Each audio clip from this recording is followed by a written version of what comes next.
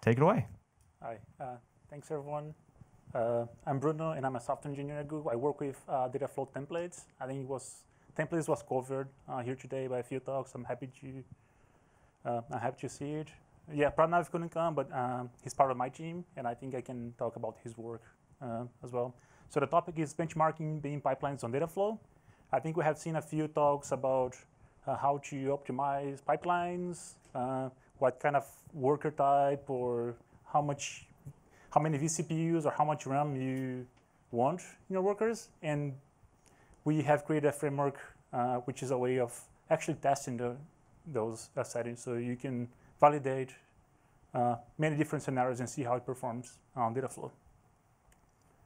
So a little bit of the agenda. I'll talk about the motivation, uh, some challenges of doing a benchmarking framework, uh, talking about the framework itself, uh, sharing some results that we got so far, and also the next steps of bringing this framework to the next level. Uh, so as part of the motivations, I mentioned that I work with Dataflow templates. Uh, what it means it's uh, it's a large open source repository that we have 80 plus production ready pipelines uh, what is production ready? So for us, it was having documentation and integration tests, uh, but we often have uh, questioning from customers and users of like uh, how much it will cost me or how will perform. Uh, so now production ready for us means that we have also load and benchmarking tests. Actually, that we we have put those templates uh, to prove with a lot of data. Uh, some of the challenges, I touched a little bit upon it.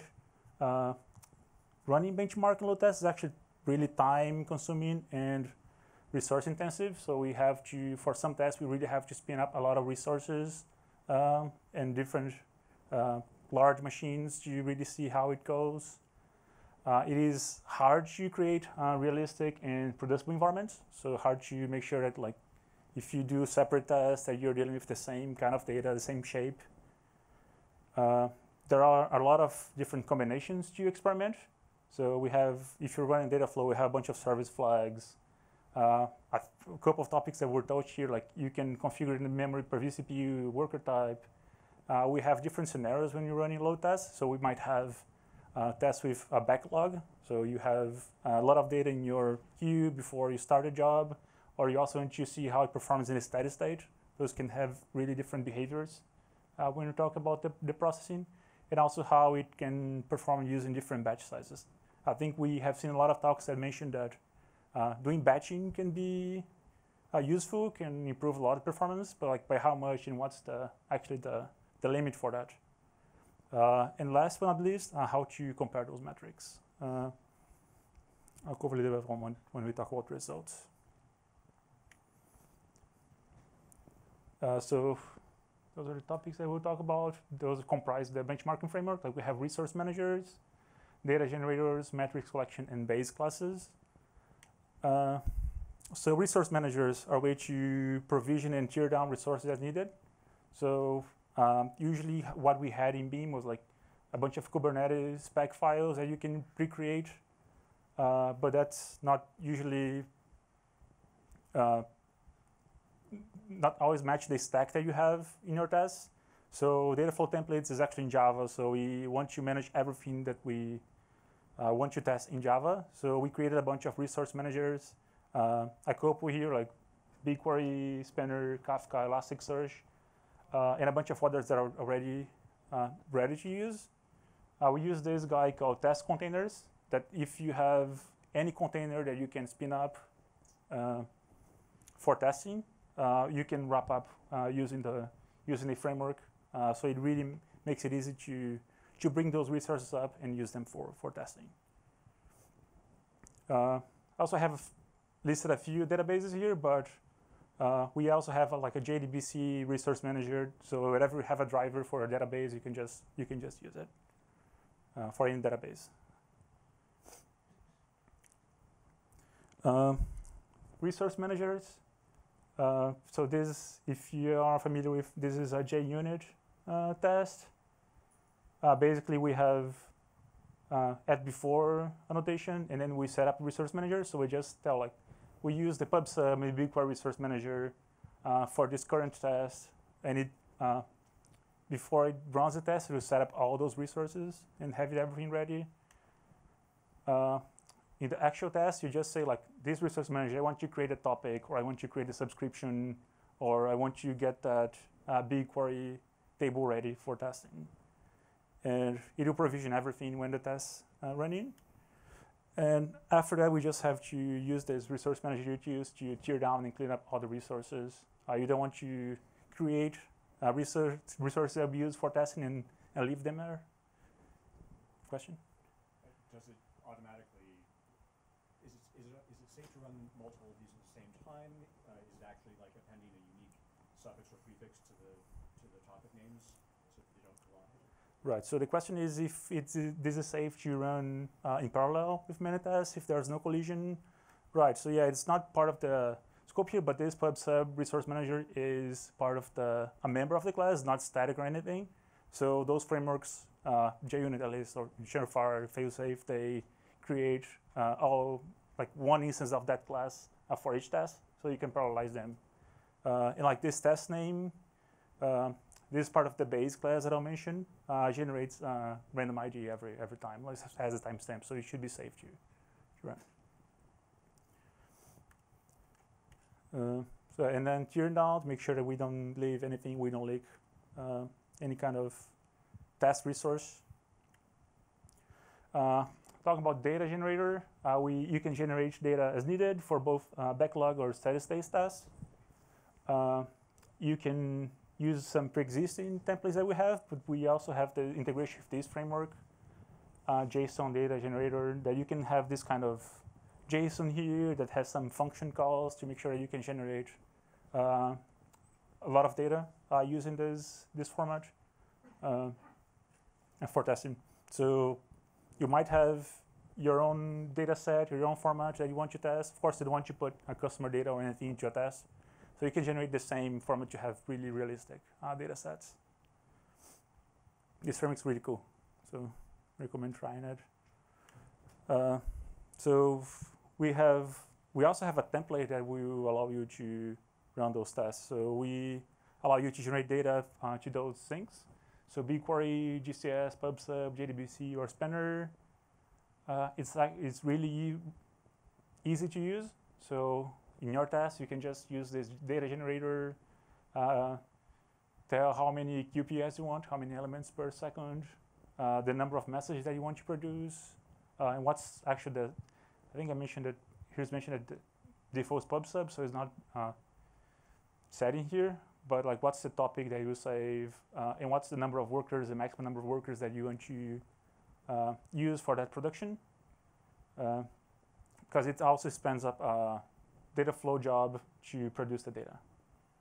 So it's really realistic environment. And here in this case, it's using the schema template game event, which I mentioned Uh, we also have like if you don't want to call this programmatically, we also have if you go to Dataflow like create job from template, there's a template called streaming data generator that you can use just for this purpose to generate a lot of data for uh, for testing. Uh, some of the metrics that I mentioned. Uh, so a few things that we collect from the job. Of course, we want to see things like time, how long the job takes to start from start to finish, uh, we have an estimation of cost, like we collect the specific metrics that are built by uh, Google Cloud and have the and have the cost. Like we just generate a number based on the metrics that we can collect. Uh, the CPU utilization, so we get both average and maximum CPU utilization. I think we mentioned here in a few talks that like you can use that to estimate if your workers uh, overutilize or underutilize. So that's a good metric to expose. And also the input and output throughput. Uh, basically, in your test, you can specify what's the transform that you want to measure uh, the throughput. So usually input throughput would be very early in the pipeline, and output would be close to your sinks, close to the destination. Uh, so you, you can also, uh, it can get complicated if you have a bunch of joins, uh, but I think usually you can express something as part of your input or output of the, of the pipeline. Uh, base classes. So the idea of base classes is to remove most boilerplate from the code and focus on the actual tasks. I mentioned the parts, and here's how we bring them, bring them together. So we have the data generator uh, to actually generate data. We run the pipeline uh, code.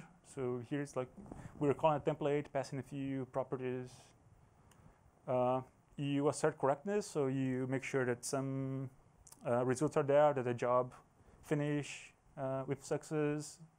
You can also see if actual things got data or anything. The framework also helps with that. We have a bunch of assertions. That, and at the end, you export the metrics. Uh, I mentioned metrics uh, before, but uh, we are, you have this method here, get metrics, that collects all the information that I mentioned before. But the way that we are comparing is exporting to BigQuery, so we can plot uh, in, in, a few charts and actually uh, have a visual of the, the performance of this. Any questions so far? Okay, some some results. Uh, so here's an example of an output that we got from a specific test. So we have those templates like pub/sub to BigQuery, pub/sub subscription BigQuery, pub/sub to GCSText, and also pub/sub to pub/sub. There are a few use cases for that. And like two different tests, one using steady state, another one steady state using streaming engine. So we can compare like the dollar cost uh, side by side. Uh, really uh, shows that streaming engine has advantages uh, in terms of cost. Uh, it's way more price effective when you can when you're reading from from PubSub. Uh, it, streaming engine ships a lot of the uh, I/O, like the reading from PubSub to the server side, so your workers are free to actually work on uh, your pipeline and not actually doing the just the I/O uh, part. Uh, also some examples like the maximum throughput. Uh, we can see the streaming engine uh, gets over in all scenarios. The same for output. Can really blow up the park there. Uh, a side-by-side -side comparison of some templates. So here's to process like 10 gigabytes of data.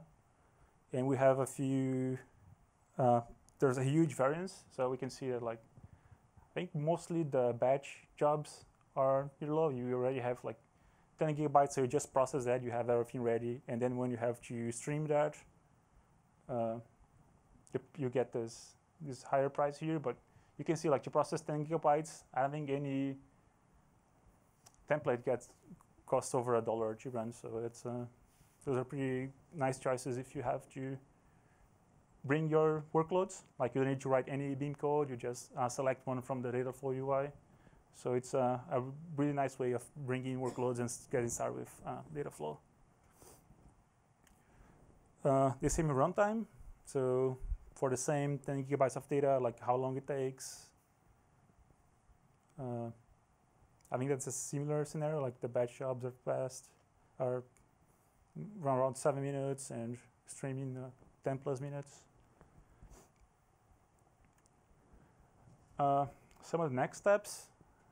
Uh, the framework is currently uh, at a called IG in this repository, which is the Flow templates repository. Uh, there is also a step-by-step -step tutorial that Pranav made available if you want to try it uh, end-to-end. -end. It's really helpful to, um, to go through that.